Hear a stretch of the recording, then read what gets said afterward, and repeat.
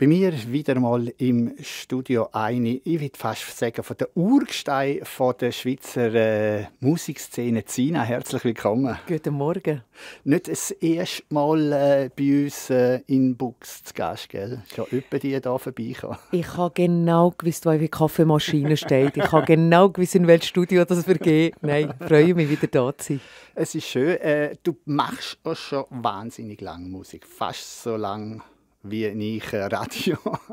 25 Jahre ist es schon. Das ist es, seit ja. auf der Bühne stehst. Doch, wenn man zurückschaut, denke ich mal, was ist jetzt die Zeit gegangen? Aber das ist, glaube ich, mit allen Sachen so, was man gerne macht. Da äh, fliegt halt einer, fliegen die Jahre ein bisschen um die Ohren. Und das Schöne ist ja, dass man immer noch dabei ist und Freude hat an, an, an dem, was man macht. Und das ist in meinem speziellen Fall jetzt die Musik. Und weil wir jetzt gerade mit einem neuen Album wieder am Start sind, äh, freue ich mich jetzt vor allem einfach auf die anstehende Tour.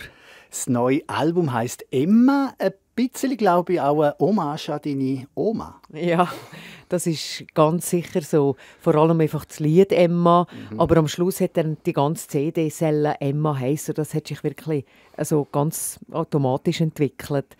Ähm, die Emma ist äh, das Lied Emma handelt wirklich einfach äh, um, geht um meine Großmütter, wo ich bin aufgewachsen und ähm, es ist eine Liebeserklärung, eine musikalische, mhm. kann man wirklich sagen. Kann man sagen.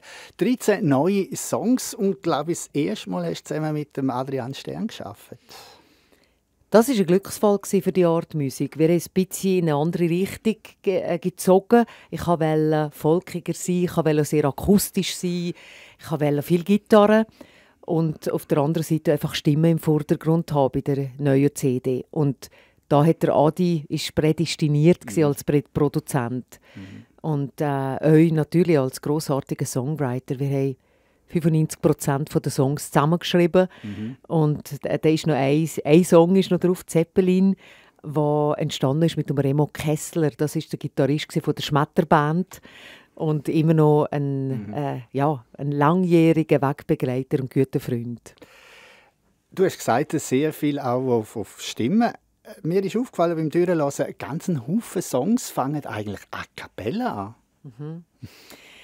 Ich bin aufgewachsen mit ABBA, mit mhm. Queen, mit Smokey und Eagles und da sind Stimmen extrem wichtig. Die mehrstimmigen Gesänge haben, haben das Gewicht, das ich auf der aktuellen CD euch in den Vordergrund stellen Und ich glaube, darum wir haben wir sehr gut überlegt, dass das Album euch so soll anfangen soll, für einfach uns so ein mhm. bisschen äh, einen klaren Hinweis zu geben auf, auf, auf, auf die musikalischen Tendenzen, die einen da noch erwarten. Und darum ist das mit dem Ritchie und mit dem Mich Detwiler ist das, äh, ist das Lied, das nichts mehr fehlt, fängt eigentlich gerade wirklich mit einem A Cappella-Vers an. Mhm. Und, und äh, sowieso ist mir aufgefallen, im Gegensatz zu anderen, also du hast schon viel Duett gemacht, aber da hat es äh, relativ viel Featuring-Sachen dabei. Also eben, du hast, du hast schon angetönt äh, mit dem Richie, dem Micha Detwille, der Anna Grenzig und anderen. Ja, ich bin einfach, ich habe einfach gerne Leute rundum, die ich mag und die Musik machen. Und das sind zum Teil ja ganz langjährige Freundschaften. Da kommt der eine oder andere Mal ins Spiel und ja, es äh, dehnt sich uns. Mittlerweile sind es elf Gäste auf dem Album. Mhm. Und das macht es aber auch uns, dass zwischendrin mal aus dem nächsten Streichquartett kommt oder dass die Bläser bei Gesundheit einfach nochmal so richtig der Marsch blasen und am Schluss, dass es eine Freude ist. Ähm, Gigi Motto ist eine von mhm. denen, die, ebenfalls mitsingt, eine alte Freundin. Ich, ich finde, Musik machen zusammen ist äh, das Schönste, was es gibt. Äh, alleinig wursteln, das macht man eh schon lange genug, bis mal ein, ein, ein Konzept ist von, von, von der Musik und vor allem auch die Texterie ist relativ mhm. eine, eine einsame Angelegenheit und da freue ich mich dann, wenn im Studio einfach Lieder rundum sind, die alle hervorragende Musiker sind und die meinem Album einfach auch nochmal noch mal einen, anderen, einen anderen Impuls geben. «Ich suche dich» ist ja äh, der, der Singletitel, nach wie vor noch Singletitel, den relativ äh, rechtzeitig vor dem Album rausgegeben hast. Da gibt es auch ein Video. Ich habe das Gefühl, eher ein bisschen, ja, von der, von der, der Art, Machart, von der, von der Vision eher ein bisschen dunkler, düster. Haben wirklich Nebelwellen und es ist die Sonne gekommen und dann haben wir alle halbe Stunde den Platz wechseln und die Nebelmaschine einschalten. Es ist also ein sehr lustiger Dreh, das sieht man im Video selber mhm. nicht. Was es hat haben, ist nicht unbedingt etwas Düsteres, aber ähm, dass man spürt, euch im Video, dass man auf der Suche ist. Mhm. Dass man ähm, auf der Suche ist nach Wurzeln, in diesem speziellen Fall, nach sich selber, aber auch nach einem Menschen, den man mhm. noch nicht gefunden hat. Und die Suche die findet nicht im schönsten Sonnenschein statt. Aber mit alten Auto. Das fällt immer allen Moderatoren ganz speziell auf. Das, das ist wirklich auffallend. Ähm, ich weiß nicht, vielleicht weißt du, äh, was für ein Jahrgang das, das könnte sein. Ich habe es bis zum Schluss nicht herausgefunden, aber ich muss sagen, ich habe nicht dreimal nachgefragt.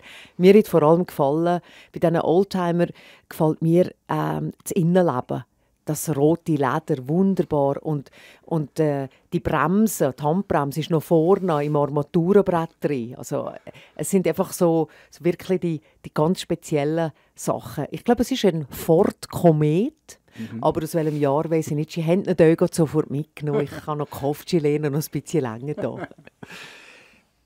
Wir haben vorhin gesagt, viel Duett, viele Sachen gemeinsam. Aber irgendwie, der Adrian Stern hat nicht ein Duett mit dir, oder, oder ist das versteckt? Ja, äh, das kann man glaube ich schon so sagen. Im, auf dem letzten Song, der heißt «So einfach», was es darum geht, wenn man einfach die Situationen kann geniessen kann, was kein Wenn und Aber gibt und dass es ja gar nicht so viel braucht. Einfach der Mann oder der, der, der Mensch, den man am liebsten hat, neben einen zu. Und dann ist es einfach schon ein magischer Moment. Diesen Song habe ich mit dem Adi live im Wald aufgenommen, also am Waldrand in der Nähe von Baden. Und da hat es eine Gitarre und zwei Mikrofone und das haben wir zusammen aufgenommen. Also da kehrt man den Adi schüch Mhm. Es ist etwas zwischen Chorgesang und Duettpartner. Es ist mhm. nicht so ganz eruierbar. Aber da, das, ist, das ist so ein, äh, ein Duo geworden. Ein Titel, da heißt es im Pressetext, da findest du das Glück und versuchst es oder kannst es festhalten. Das ist ein schwieriges Glück festhalten. Ich glaube, man darf das einfach gar nicht verlangen, weil dann bleibt es ja länger. Mhm je mehr dass man anläuft, desto eher ist weg. Und das sind ja, das wissen wir ja auch, halt, vor allem die, die feinen und kleinen Momente, wo das Glück ganz unverhofft kommt. Und zwar äh, im Rahmen von einem Geruch, der einen an etwas erinnert. Oder, oder wenn man morgens Kaffee trinkt und die Sonne scheint einen ins Gesicht. Also so richtig festhalten kann man das nicht. Das, da, das finde ich auch. Aber umso intensiver kann man es vielleicht genießen und das Gefühl wieder abrufen. Etwas, was sich auch ein bisschen äh, durch das Album durchzieht, ist äh, die Thematik im weitgehenden Älterwerden. Ja, das ist, äh, ist ein Thema, oder? Mit Schallen. Ja. Vor allem, wenn es auf einmal anfängt zu zwicken, überall. Mhm. Und wenn man merkt, dass acht Stunden Schlaf dann gleich irgendwie zu wenig ist zwischendrin.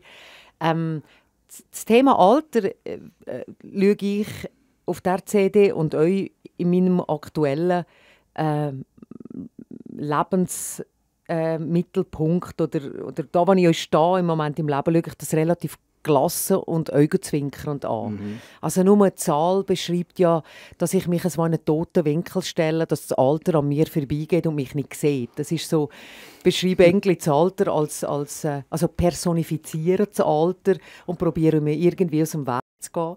Und bei äh, Gesundheit geht es einfach um ein Fest ähm, ein Jahrgängertreffen, das ich vor zwei Jahren mit meinen Jahrgängern aus dem mhm. Wallis hatte. Super schöner Abend. Und wo wir einander am Schluss zuprosten und sagen, hey, auf alles, was wir gelebt haben und das wir erlebt haben bis hier, ist eigentlich schon ein Grund, einmal darauf anzustoßen und sich zu freuen. Also das ist ein, ein, ein, ein Hoch auf das Leben, auf das, mhm. was das Leben alles bietet. Und der dritte Song, stimmt, das Alter ist eigentlich recht präsent auf dem Album, da geht es um die Schönheit. Das ist ein, äh, ein Trio mit der Gigi Motto und der mhm. Anna Kenzig, mhm. wo wir eigentlich so ein bisschen in unserem Alter, vor allem Gigi und ich, die Schönheit ein bisschen anders definieren als noch mit 20, 25. Nämlich als ja, unabweichbar, als, als etwas, was man am besten mit Humor und Selbstironie entgegennimmt und ähm, die Einsicht, dass äh, am Schluss die Natur gewinnt. Am 16. Februar das ist, äh, 2019 ist ganz ein besonderer Tag. Da kommst du einen ganz speziellen Award über. Ja, der ist schon speziell. Ich glaube, der kriegt man nur einmal im Leben. Und ja. er ist der erste, ich glaube, das erste Mal verleihen in den Swiss Music Awards. Ähm, es ist das zehnte Mal. Ah. Aber ich bin die erste ah. Frau. Ah, genau. Und ähm, das ist allerdings keine Auszeichnung als erste Frau. Es wäre schön, es schon ein paar vor mir gegeben. Aber vielleicht ist das ein Start. Es ist, es ist der, der Life Achievement Award und steht eigentlich für ein Lebenswerk. Mhm. Jetzt könnte ich mal sagen, okay, jetzt hocke ich mich mal auf mein Schmine oder in die Nähe zumindest und tue mal die Decke über die und lese mal ein paar Strümpfe. Aber das wird nicht passieren. Also das beste Beispiel ist ja jetzt eben die Emma, mhm. was jetzt gerade einfach voll weitergeht wie bis jetzt. Und ich nehme den Preis einfach als Anerkennung für die mhm. letzten 25 Jahre. Ich freue mich darüber. Jetzt gehst du mit dem Preis und vor allem natürlich mit dem Album «Emma» gehst auf Tour. Anfangen tust am 1. März in Wetzikon. Was, äh, was, was nimmst du alles mit? Am Anfang, weiß ich noch, vor etwa 20 Jahren, habe ich mich sehr schwer getan, ein abendfüllendes Programm zusammen zu bekommen. Der ein oder andere Coversong noch dazu genommen, dass es längt für anderthalb Stunden. Und heute sind es über 150 Songs. Und das ist natürlich ist das, äh, ist das ein super Luxus und ein Luxusproblem. Aber uns zu wählen, welche Lieder das zum Abend passen, das ist, äh, da habe ich jetzt gerade mir schon, ja, schon habe ich mir recht die Haare gerauft, bis das ist klar war. Jetzt werden wir sicher in die Zukunft schauen ein paar Songs ab Emma, und aber auch zurück. Äh, die 25 Jahre sollen gefeiert sein. Wir gehen musikalisch jetzt zurück zu den Anfängen und ich bin gespannt, wie die Leute auf das reagieren. Ich freue mich auf die Tour. Am 6. April bist du im alten Kino in Mels. Da bist du, glaube ich, auch schon gewesen, wenn ich mich zurückerinnere. Habe ich das Gefühl? Immer wieder. Gell? Ja, es sind äh, natürlich auch mit den Veranstaltern entwickelt sich so, so äh, ja, ähm, schöne Bekanntschaften, die zum Teil Freundschaften werden. Und vor allem ein schönes Gefühl, wenn man wieder an die Ort zurückkommt, wo man weiss, da ist jemand, der sich freut, dass man kommt. Der hat im Vorfeld geschafft, hat Plakate aufgehängt, hat Werbung gemacht für ein Konzert. Und es gibt nachher einen guten Abend mit den Leuten. Sehr schön ist auch, wenn es stimmungsvolle Lokal hat. Das ist jetzt mhm. wieder eins von denen. Mhm. Und ähm, ja, ich bin nicht so viel in dieser Gegend. Mhm. Und ich freue mich jetzt äh, in Melz wieder so ein bisschen hier in, in die Berge zu kommen. Du tourst eigentlich durch die ganze Schweiz. Du bist auch am ähm, 17.05. im Schaffhausischen, im 25.05. in Kirchberg. Also auch, auch in der Ostschweiz, aber nicht nur, denke gell? Nein, gar nicht. Wir spielen natürlich im Wallis, ähm, haben da schon verschiedene Konzerte ausverkauft und haben jetzt noch etwas dran. Sie ganz sicher jetzt Bären, der Mühle Hunziker, ähm, ja, eben Schaffhausen, Heckenschwil sind wir euch, Kultur im Bären. Ähm, das, die sind, glaube ich, aber auch uns verkauft. Und dann sind wir natürlich noch in Winterthur in Basel. Also wir spielen eigentlich in der ganzen Deutschschweiz äh, bis Ende Jahr. Ähm, und das werden ca. 40, 45 Konzerte sein. Und die findet man sicher äh, mit vielen anderen auf deiner Webseite.